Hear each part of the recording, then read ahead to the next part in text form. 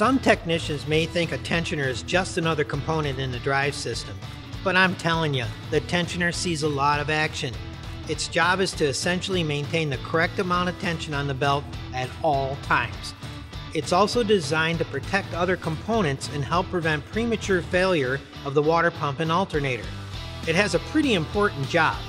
So be sure you're replacing tensioners when you do a belt replacement because its spring can lose tension and bearings lose grease over time. Now let's take a closer look at this technology and why Dayco's tensioner is preferred by OEMs. What makes our tensioner superior is this flat spring design. Dayco invented this technology, and while some have attempted to imitate it, other products simply don't perform like Dayco tensioners. Unlike tensioners with coil springs, the flat spring helps prevent fluctuations to the tensioner body, which means its footprint doesn't change when it's under tension. This reduces the risk of spring fatigue, which is commonly seen in competitive products. Spring fatigue results in belt noise and possible separation of the housing, and that can lead to premature failure.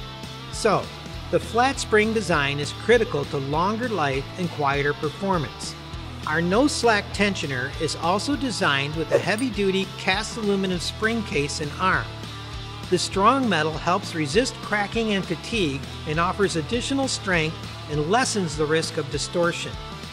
A steel pivot tube is used to provide additional support for critical torque requirements, and a thermoplastic rubber spring slot plug helps protect the tensioner from contaminants.